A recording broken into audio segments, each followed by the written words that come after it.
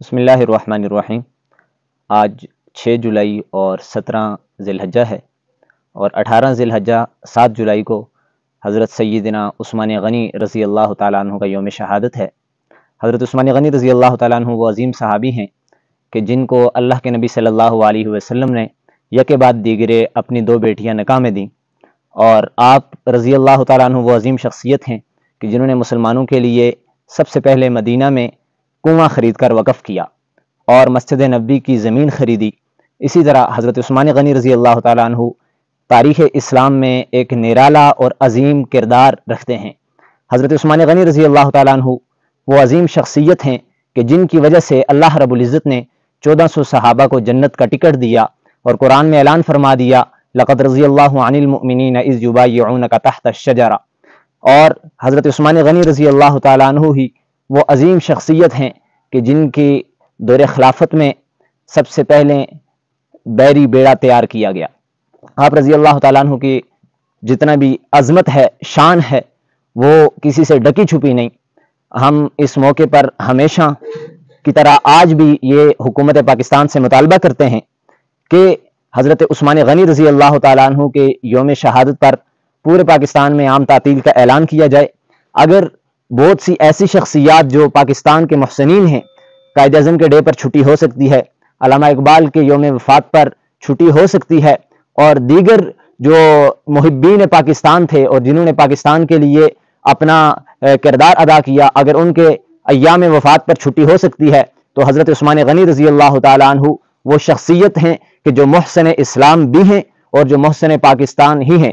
क्योंकि ये ख़त्ता अर्ज़ जो हमें मिला है ये हज़रत साहब कराम रज़ी अल्लाह तजमाइन की जूतियों का सदका है लिहाजा इस मौके पर हम अपनी इस प्लेटफार्म से हुकूमत पाकिस्तान से मुतालबा करते हैं कि इस मौके पर आम तातील का ऐलान किया जाए और जुमे कल जुमे के दिन पूरे पाकिस्तान में हर जगह से और जितने भी बड़े बड़े मराकज़ हैं बड़े बड़े शहर हैं वहाँ पर रैलियों का इनका किया जाएगा और एक मुतालबाती जुलूस निकाला जाएगा आप हजरात उसमें भी शिरकत करें और साथ ही इस मौके पर मैं ये भी कहना चाहता हूँ कि कुछ दिन कबल स्वीडन में जो कुरान पाक की गुस्ताखी की और उसकी तोहन की गई, ये एक अलमनाक और शर्मनाक वाक़ है और इस पर उम्मत मुस्लिमा के बड़ों की खामोशी, ये इंतहाई दिल खराश और दिल सोज वक्त है हमारे लिए।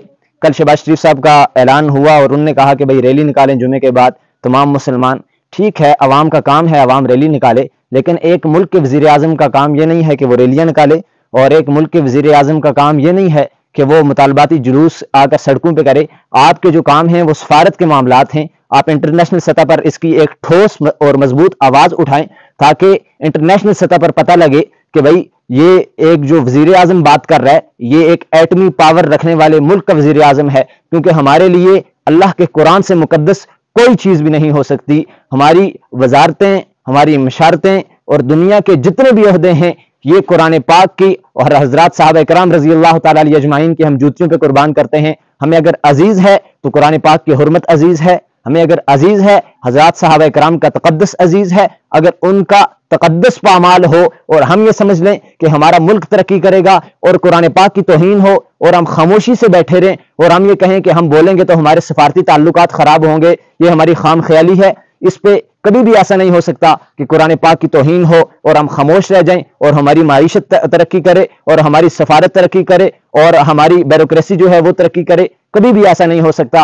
अगर हम अपने मुल्क को मुस्तकम करना चाहते हैं, मज़बूत करना चाहते हैं तो हमें आज भी स्वीडन के खिलाफ और दीगर जिन ममालिक में कुरान पाक की आए रोज गुस्ताखियाँ हो रही हैं, तोहन हो रही है, कुरान पाक को जिसका अल्लाह रबुल्ज़त ने खुद वादा किया कि इन्ना ज़िक्र व इन्ना हाफिजून कि इसके मुहाफिज हम खुद हैं। बेशक कोई इसको जलाए, कोई इसको शहीद करे, इसकी हिफाजत का जिम्मा अल्लाह रबुल्ज़त ने ले रखा है, लेकिन हमारी ईमानी गैरत ये कहती है और हमें ये चाहिए कि हम इस पर मज़बूत और ठोस आवाज़ उठाएँ और आए रोज़ जो मगरब की तरफ़ से ये तोहन हो रही है और कुरान पाक को कभी जलाया जा रहा है, कभी उसको नज़र आतश किया जा रहा है और कभी उसको नवजुबिल्ला गंदी नालियों में फेंका जा रहा है, ये तोहन को जल्द अज जल्द हमें मुतालबा करके और हमें मज़बूत और ठोस इकदाम करके इसको रुकवाने की कोशिश करनी चाहिए। अल्लाह ताला हमें हज़रत साहब कराम रज़ी अल्लाह तजमाइन और कुरान पाक की जो बताई हुई जितनी भी तालीमत हैं, उन पर अमल करने की तोफ़ी कता फरमाए। असल